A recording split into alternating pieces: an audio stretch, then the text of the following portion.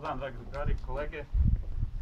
Hvala da sam na reči. Ja sam Milovan Jovičić, vlasnik i direktor Alpha Design studija, jedne digitalne agencije koja se bavi dizajnima interfejsa i dizajnima online reklama i gde sam pozvala da pričam o Internet of Things, odnosno stvarima koje ćete vi, nadamo se, uspešno ovih 20, narednih 24 sata izrađivati. Ja sam namerno izabrao ovaj uh, naslov da bude malo provokativan, da li je budućnost ili čop sokak, jer sam uh, nisam zamislio ovaj uvodni deo kao predstavljanje stvari koje već postoje i da tu samo ih navedemo i da tu zaključimo neku priču, već da napravim neki kritički osvrt na, na njih i da nekako napravim neku podelu između humanog pristupa dizajniranju to, tih a, mašina i nehumanog, da kažem, pod znacima navoda, nehumanog u smislu da se a, taj a, proizvod koji se pravi, a, pravi sam radi sebe, a ne radi ljudi, odnosno da se taj proizvod a, uši, da kažemo, čoveka i da njegovu, njegovu pažnju usmerava ka tom proizvodu u odnosu na to kako bi trebalo da radi neka mašina, odnosno da pomaže ljudima u njihovim, u njihovim, u njihovim dnevnim aktivnostima ili nekim, nekim da kažem, profesionalnim stvarima. A, inače, meni, ja imam problem sa definicijom Internet of Things. Za, zašto to? Zato što je Internet of Things, ja sam gledao sad kao pripremu za ovo predavanje i neke ovaj, članke i neke TED tokove, to kaže da je to u stvari jedna mašina koja ima neki univerzalni identifier, ima neke senzore i povezana je sa drugim mašinama, povezana je na internet i ovaj, može da komunicira sa drugim mašinom, što je, da kažem, prednost, a može da komunicira i sa, sa ljudima. Ja se ne, baš ne bih složio sa tom definicijom, zato što je to a, onako ovaj, ograničavajuće, pre bih nazvao to smart devices, odnosno proširio bi tu kategoriju kategoriju uh, uređaja, reći ću vam malo kasnije i zašto. Uh, proširio bih na neke ovaj, uh, stvari koje se, recimo, koje su malo, da kažem, većih dimenzija, kao što su, recimo, automobili, kao što su, uh, zašto da ne, i mobilni uređaji koje, koje danas, danas ovaj, uh, svi koristimo, jer oni su zapravo ti koji sadrže i sve te senzore, a koji mogu čak i mnogo više u odnosu na tih u odnosu na te male uređaje koje ćete vi danas konstruisati mogu više da doprinesu ukoliko su a, dobro, dobro dizajnirani. Problemi koji se javljaju u tom dizajnu, ja sam ovde naveo nekoliko problema i nećete mi zameriti pošto ovaj, ne mogu sve da ih, da ih zapamtim. Prvi tip problema, i to je najčešći tip problema u, u ovaj, izradi ovih uređaja, je dajte samo da stavimo interfejs na njih. Znači, mi ćemo sada da uzmemo neki toster, uzet ćemo neki frižider, stavit ćemo na njega, stavit ćemo na njega, ovaj, na primjer, neki mali LCD ekran i to je na, naš Internet of Things. Mi smo napravili u stvari taj proizvod zato što možemo, zato što imamo neke jeftine proizvođače LED ekrana, imamo frižider, to ćemo da spojimo i da, da pustimo to u eter da vidimo koliko, da će to neko da koristi. I mi sad imamo moderne domaćice koje proveravaju svoj Twitter status i Facebook status ovaj, na, na ovaj, frižideru i to je po meni pitanje koliko je, koliko je korisno, zato što je prosto taj, taj vid a, kombinovanja senzora i kombinovanja a, nekih postojećih tehnologija samo zato što možemo pogrešan pristup dizajnu ovaj, a, tih stvari koje, koje će koje ćete vi danas ili sutra ili već za koju godinu kada budete u nekim velikim firmama ovaj, uh, praviti. Znači, to je taj prvi problem, najčešći problem koji se, koji se javlja u, u izradi, izradi mašina. Ovaj, to je u stvari taj, taj opterećenost interfejsom i uopšte ne postoji nikakva informacijna dijeta, odnosno previše informacija dolazi do, do, ovaj, do korisnika i imate ono što mi sad danas zovemo mobile phone zombies, odnosno idete ulicom i čovjek ide ovako i udari vas. Uh, zahvaljujući tome što je on opterećen tim interfejsom i opterećen je tim uh, notifikacijama koje, koje stižu. Bez obzira da je to mobilni telefon ili da li je sat ili da je nešto drugo. Problem su stvari uh, u psihološkom smislu notifikacije koje ti, koje ti uređaje imaju. Drugi problem koji, ovaj, a, koji se na, nadovezuje na taj prvi je, a, zahvaljujući tim notifikacijama, postoji mnogo interakcije sa mašinama u tom nekom smislu, da mašin nešto traži od nas, taj uređaj, bilo koji, i mi sad a, smo orijentisani na nju i mi sad moramo nešto tu da pritisnemo, da vidimo ko nam je poslao, ko je postavio sliku na Instagramu ili ne znam šta već, ili čak ekstremni primer u recimo auto, automobilu, mi, automobilu Mini Cooper su ugradili jedan ovako, da kažem, isto veliki LCD ekran, gde isto imate Twitter notifikacije koje možete pratiti na semaforu. To su neke stvari koje bi trebalo, verujte mi, da zaobiđete u vašem budućem, da kažem, a, delovanju i u, i u vašem dizajnu ovaj, mašina. Znači, trebalo bi malo brižnije osmisliti taj koncept dizajna počeši od čoveka, pa, znači ne čovek ka mašini, nego mašina ka čoveku, da mašina služi čoveku, a ne čovek mašini. A, I taj, taj problem takođe se, ovaj, da kažem, javlja pošto postoje veliki broj proizvođača tih uređaja, kao što recimo, ja moram da kažem Samsung, ja volim Samsung, Samsung je jedna od, od naravno, najvećih, najvećih proizvođača elektronike, međutim, šta je povod sa njima? Oni, isto, isto zato što mogu, oni uzmu pa naprave tablet od 4,5, 5, 5,5 inča, 6, 6,5, 7, 7 i ovako kao, kao, kao kad bacaju farbu, pa kao šta se zalepi, odnosno šta ljudi usvoje, oni će sad to da ovaj, dalje nastave da proizvode i imamo tu hiperprodukciju uređaja koje ovaj, jednostavno je prvo, da kažem, nepotrebno, drugo opterećuje i mnogo zagađuje našu okolinu. Ovaj, ljudi su neki svesni toga, neki nisu, ali je veliki problem ta hiperprodukcija zato što a, treba po meni smisleno a, te procese ovaj, i uključujući empatiju napraviti ovaj uređaj, a ne samo da eto, isproduciramo te ekrane, isproduciramo te interfejse i uopšte ne mislimo tu neku hum, ne, ne mislimo na tu neku humanu komponentu a, interakcije sa, sa, ovaj, a, sa, tom, sa tom napravom koju, koju stavimo. Sledeći problem, u, u isto u jako velikoj meri, možda treba da budem među prvima, su standardi.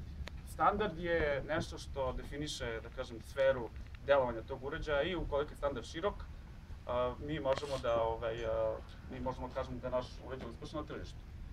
E sad, kao što znate, najveće dve struje u tim nekom wearable modulu su iOS, odnosno Apple uh, operating system sa no, najnovijim Apple Watch OS-om i Android Wear, odnosno taj uh, Google proizvod koji se naslanja na Google Android operating system. I ovaj, nekako tradicionalno i istorijski uvek su postale neke, ako ništa drugo, bar dve struje u kojima, u kojima ovaj, moraju da se razlikuju kao što imamo danas, uh, na primer, razlika u između američkog tržišta i evropskog tržišta. Imamo razliku u tim operativnim sistemima koji su drastično različiti po pitanju bezbednosti i po pitanju pristupa mašinama.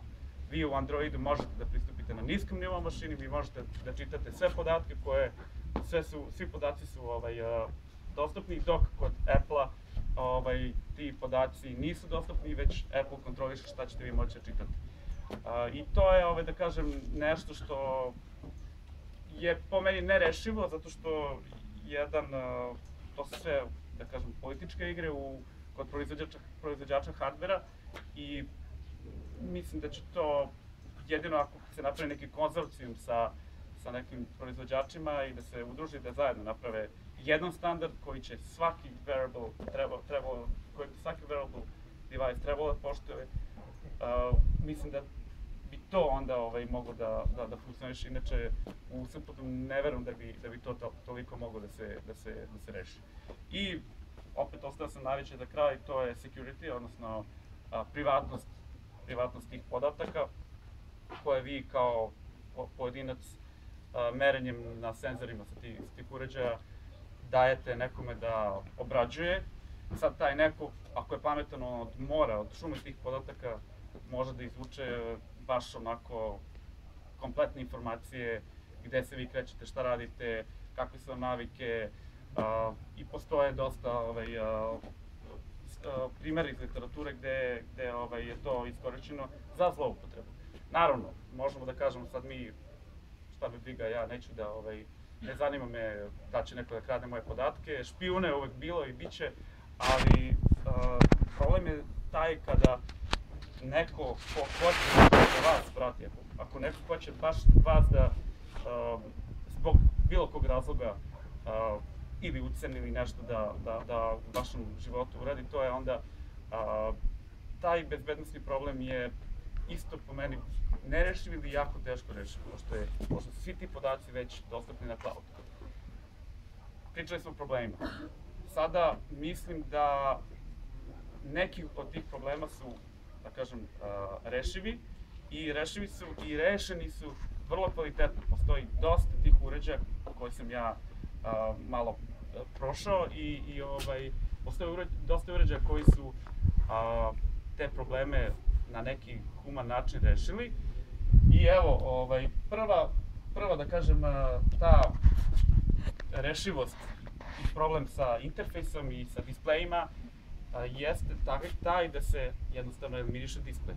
Da se eliminiše displej kao jedinica a, upravljanja, odnosno je- jedinica a, interakcije korisnika sa uređajem. Kako sad vi kažete, kako to? Pa recimo ima nekih primjera kao što je recimo a, JBone koji je napravio slušalicu koju vi možete da izdajete komande i koja vama proaktivno daje a, neke, neke recimo instrukcije gde treba da idete ili šta, ako i postoji neka poruka koja mi stigla ili neka druga notifikacija, ona znači e, kao int- interfejs koristi U. Zatim ima, evo ja sam doneo drugi dobar primer koji opet ne eliminiše interfejs, ali je, ali nešto što je, ovaj, što je isto, da kažem, pionirski poduhvat. Ovo je recimo Google Glass. Vi znate šta je Google Glass. On takođe postoji na njemu display. Međutim, vi sad pomerate, da kažem, tu granicu vizije od gledanja u dlan, da vi možete da, da držite taj, taj uređaj na, na sebi. On je naravno ova verzija 1. On je prilično optrazivan, masivan, težak. On ima i slušalice ovde da se, da se stavi. Međutim, ovo je pionirski pokušaj, već ja mislim, u sledećoj generaciji će oni smanjiti ove njihove dimenzije i bit će onako društveno pristupačan, zato što je već prvih meseci kad je krenuo da se ovaj uređaj nosi u javnosti, pojavio se termin glass hole, odnosno uh, to je neko ko nosi ovo i onda on može da, ovaj, on može jednim migom, ali bukvalno imate interakciju, ovako namignete i on slika. Ili ako držite, ovaj, uh, ako držite uh, duže, onda on snima ovako oko. I onda to je vrlo onako obtruzivno za, za korisnika, ali je ako nije našao ovaj uređaj uh, upotrebnu svrhu, da kažem, u najširoj toj zajednici, u najširem krugu korisnika, on će naći sigurno svrhu u nekim uskim sferama, u sferama nauke, u sferama, na primjer, medicine i tako dalje, gde je potrebno da imate ispred sebe uvek neku informaciju koja bi vam bila lako dostupna. Inače, ona ima interfejs ovde sa strane, ima ovaj, ovo mu je taktilna, taktilna deonica gde može da, da, gde možete da upravljate njime. To je, ovaj, to je što se tiče te, da kažem, tog nekog pravca razvoja gde vi znači, sklanjate display, display ili postoji u nekoj manjoj meri ili ne postoji uopšte. To je, da kažem, neki dobar pravac u kome bi trebalo, trebalo, trebalo ići. Drugi pravac. A, može da ostane display, ali da taj display a, služi svrsi, da taj display a, radi jednu stvar dobro, a ne da ima neke, a, da kažem, notifikacije, da ima neke a, stvari koje vas prekidaju u tom radu. I tu sam ponovno isto još jedan gadget koji isto svi znate i on radi jednu stvar jako dobro. Ovo je Amazon Kindle. To je a, sprava koja služi za čitanje, čuli su svi, većina vas posjetuje, koji jednostavno ima a, taj neki, a, kako se zove, neki display koji može i preko dana i preko noći da, da, ovaj, da, da se koristi. I zašto sam doneo baš njega? On nema izlazak. Znači on je po meni isto, pripada kategoriji Internet of Things, ali on, da kažem uslovno rečeno, nema izlazak na internet, ne povezuje se sa drugim uređajima, povezuje se naravno samo radi sinhronizacije knjiga, ali nema tu neku stalnu konekciju, nema stalnu interakciju, a opet pripada toj kategoriji. Zato bih proširio tu ovaj, definiciju na smart objects. Uh, ovaj uređaj je strašno uspešan i to je dokaz da uređaj koji se napravi, koji nije, da kažem, one size, one size fits all, da radi sve i svašta, nego da radi jednu stvar, ali radi jako dobro. I jedan od, da kažem, najprodavanijih gadžeta na, na svetu. Naravno, daleko više od, i od iPada i od ostalih, od ostalih tableta.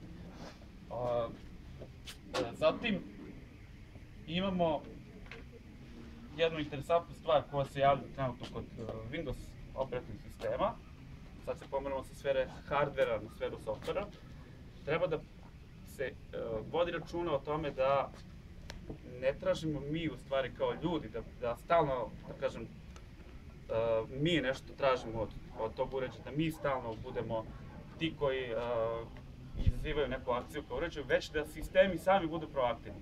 Kako to recimo može da se, da se uradi? Putem raznih senzora. Prvo za početak GPS, evo ovaj, konkretno Microsoftov uh, Windows operativni sistem, mobilni operativni sistem, ima, uh, kada vi recimo 10 dana uzastopno idete ujutru na jedno mesto i vraćate se popodne uveče na drugo mesto, on vas posle nekoliko tih dana pita, uh, kaže, da li, da li mi ovo posao, vi idete na posao. I vi možete kažete da ili ne, malo je to, da kažem, zastrašujuće ovako, ali on zaista tako pita, da njegov virtualni asistent, Cortana se zove, pita kaže da li vi idete na posao, vam ovo lokacija biti. Vi kažete, odaberete da li hoćete ili nećete. Ako kažete da idete na posao, onda sledeći nivo, on kaže posle 4-5 dana, kaže, aha, sad je vreme ručka, pola dva. Imate u vašem okruženju na poslu, imate te i te restorane sa tim i tim odrednicama, da li rezervisan nije rezervisan. To je po meni način na koji software s jedne strane treba da bude programiran. Treba da bude proaktivan, ali ne proaktivan, da kažemo, modernim terminom smarajući, već da bude, kako kažu amerikanci, just in time, odnosno da bude kad treba i koliko treba.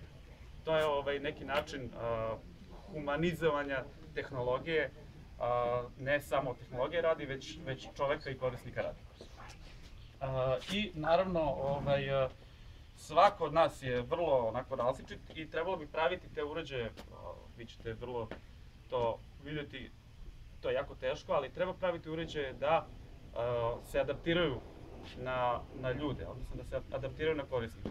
Primer za to ovaj, je jedan termostat koji je napravio, napravila firma Nest Labs i koja uh, beleži vaše navike u toku dana i onda on kaže izašli ste iz kuće u 9 sati, došli ste u 6, nema potrebe da vam bude kuća zagrejana na 23 stepena, može da bude na 13-14 da, što kaže, prežive, prežive te biljke koje su unutra, ali vi nema potrebe da, da trošite energiju koja je, koja je ovaj, uh, za to dogrevanje. I on, uh, na osnovu vaših podešavanja u toku prvih dana korišćenja, beleži te vaše navike i onda takođe postaje proaktivna na osnovu tih, tih, uh, tih uh, zabeleški koje vi naravno možete kasnije i da menjate da, i da promenite. To je neki način adaptiranja tehnologije na, na korisnika. Kao što se, mislim, jedan odličan primer, uh, da kažem, ne, nešto, nečega što nije tehnologija, sa farmike. Farmike, kako ih nosite, oni se adaptiraju vama na kraju vam bude ekstra udobno i ne možete da nađete ni jedne farmike koje, koje su, koje su tog, koje su takvog kroja kao što su kao što su oni. Tako bi trebalo i tehnologija. Svako od nas je različit i svako od nas ima svoje neke lične navike i, i da kažem, performanse i trebalo bi na taj način, nije lako, ali, ali ovaj, bi se sigurno isplatilo da, da bude, da kažem, taj humani, humani pristup.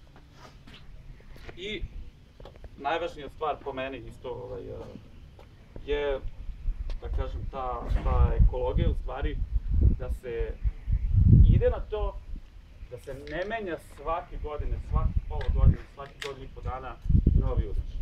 Znači, trebalo bi napraviti na neki način a, uređaj koji, koji je održiv, odnosno, ako ništa drugo, da bude modularan, da se neki delovi uređaja mogu menjati, jer, pazite, vi kupite sat i nećete da menjate sat na svaki godinu dana, dve godine. Znači, trebalo bi na neki način misliti o, prvo, o elektronskom otpadu, jer elektronski otpad je jedna velika, da kažem, velika tegoba za, za ovu našu ljudsku planetu. Ove, a druga stvar, hardware je vrlo, da kažem danas, vrlo jak vrlo je onako napredan i došli smo neke granice gde u stvari software sad problem, a ne hardware. Software je ta proaktivnost što sam malo pre pričao i uopšte dizajn softvera je problem. Hardware je vrlo, da kažem, došao do neke prilično, da kažem, pristojne granice gde možete da, da, da ovaj, iskoristite te njegove mogućnosti. E sad, a, kako se to, kako bi mogli to da, ovaj, da rešimo? Znači, trebalo bi da imamo jedan uređaj koji ima dovoljno tih uh, senzora i da onda ovaj, updateujemo te softvere, updateujemo te, te načine, odnosno te uh, merljive stvari, odnosno softvere i te njegove funkcionalnosti na neki na neki korisniji način, na neki način koji je dobijen, odnosno neke smernice koje su dobijene sa korišćenjem tih uređaja. Naprimer,